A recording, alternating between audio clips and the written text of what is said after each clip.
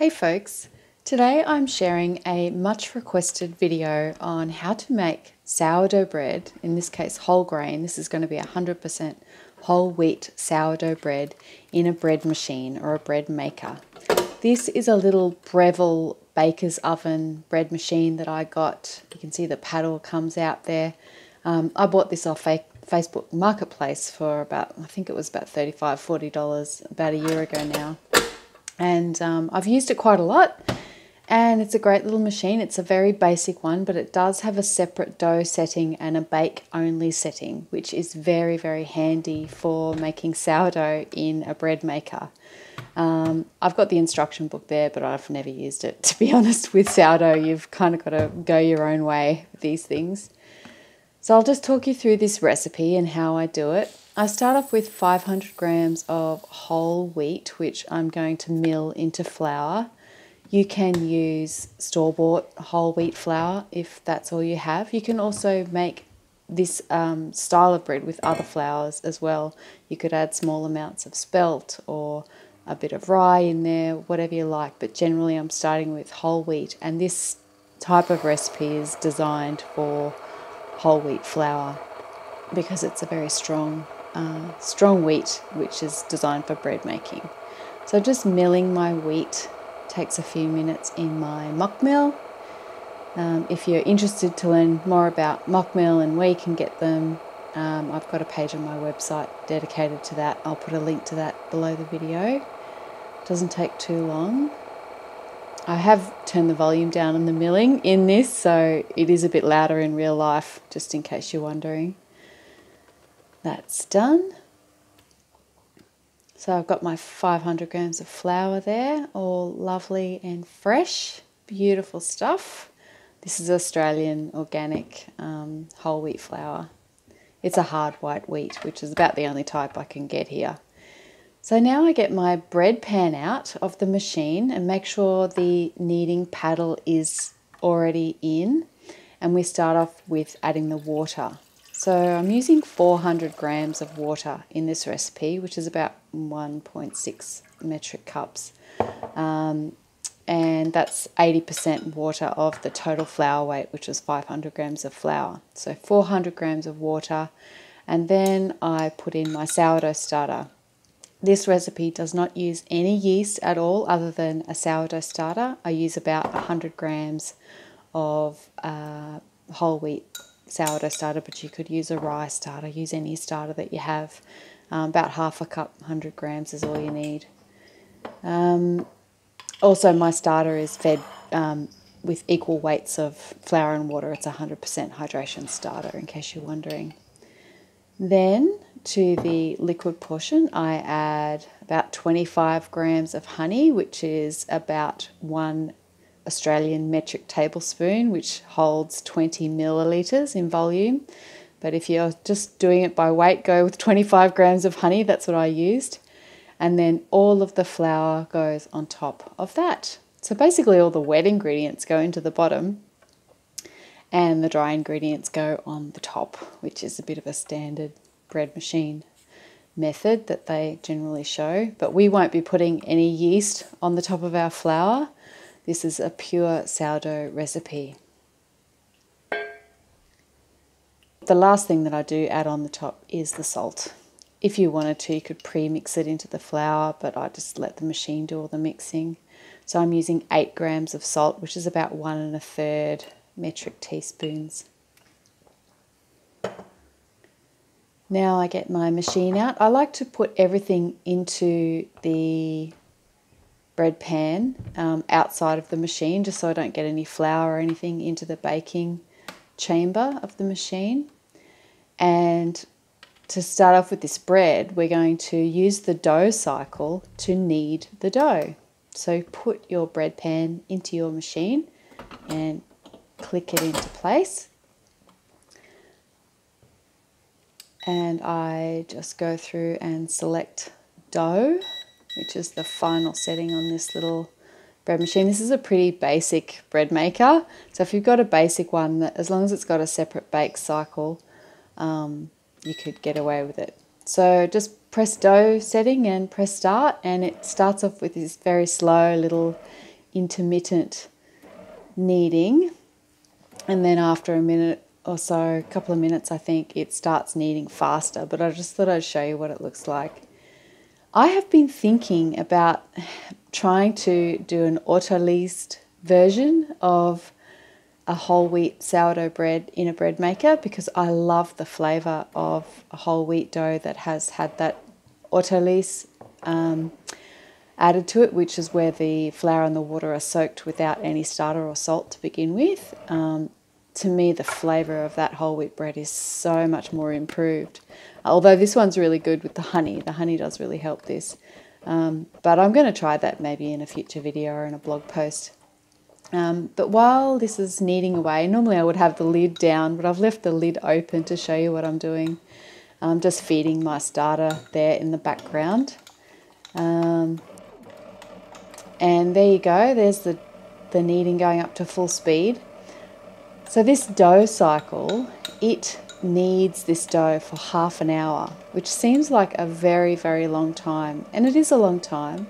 But if you've got a strong, hard white wheat, the type of wheat that is grown, um, you know, chosen a selected variety for bread to make bread flour or bread wheat, um, then hard white wheat varieties uh, will stand up to this amount of kneading quite well.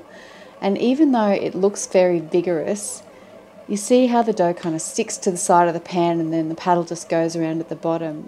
It's actually a relatively gentle kneading. The whole dough isn't being kneaded all the time, it's just little bit by little bit.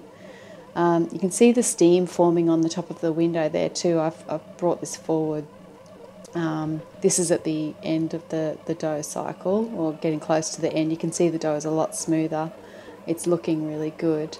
Um, the steam on the top, these machines, they add some heat to this dough as it's kneading. So once the dough has finished being kneaded, I turn the machine off uh, to prevent it getting even hotter through the rest of the dough cycle. But I just wanted to show you the gluten development there. It well and truly passes the window pane test.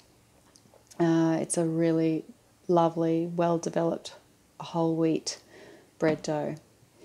So I just shut the lid there but turn the machine off because if you leave this dough setting like the dough cycle goes for an hour and a half but it does punch down and and it keeps a bit of heat going into the dough so I just turn it off and it's really just the kneading that we're looking for and then it's just a matter of leaving the dough to ferment for a few hours depending on the weather and your dough temperature it might take anywhere between 3 and 6 hours once your dough has fermented in the pan and it's risen up like this one has, um, there are a couple of things you can do.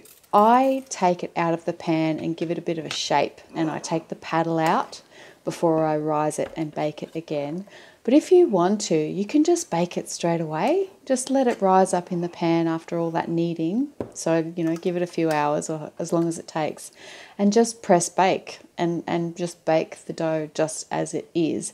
But personally, I like to add in this extra step of taking it out of the pan, taking the paddle out, which creates less of a hole in the bottom of your bread. And um, I don't bother cleaning the pan out or anything, I just try and get as much dough out as I can. Um, I do spray the bottom of the pan or put a little bit of pan release um, goopy mixture. I'll put a link for that, my recipe for that below, but I'm using the can spray today put a little bit of something or a bit of butter in the bottom uh, just so that the bread comes out more easily at the end and you don't get it stuck to that little um, paddle holder thing at the bottom. And then I just give it a bit of a light shaping and rise it again before I bake it. But like I said, if you really want to use the bread machine for all of its convenience, you could probably stip uh, skip this shaping and final rising if you wanted to. Uh, I think I have done it that way and I think it turned out okay. Um, it's just up to you and you know what sort of aesthetics you want. I tend to want to go for a bit more of a nicer shaped bread for the bread machine. Even though my shaping is fairly rough, it's not brilliant. But there is the, the shaped dough. All I do now is put that back into the machine, which is still turned off, and just let it rise up again before we bake it. So really we're just selecting parts of the machine's abilities that it can do and, and making it kind of, we're just using it for what we want it to do to fit in with sourdough. So this final proof, uh, it was quite a cold, a cold day at my place that day. It took about two hours and it doesn't look that much bigger than it was, but I'm going to show you a comparison just in a sec. There you go. So you can see the before one on the left and the ready to bake photo on the right. The one on the left, it's about the same height, but it's not filled out the pan. So look out for your dough to have really filled out the pan and raised up a little bit, but it's not going to be a real dramatic rise for that final proof. Just bring it to a point where it feels a bit puffy and it looks like it's puffed up and it's filled out the pan nicely. That's all you're looking for. If you let it go too much higher, it'll overproof and you'll get big bubbles up the top and really dense bread at the bottom, which you don't want. So once it's ready to bake, just select bake, the bake setting on your machine. Hopefully you've got a bake only setting and press start.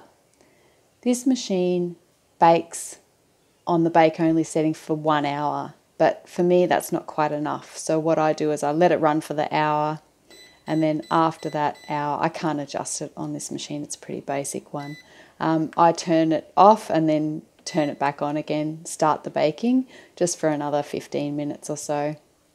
Just set your own timer, and then when that time's up, just turn it off and take it out. So I'm kind of manually increasing the baking time there.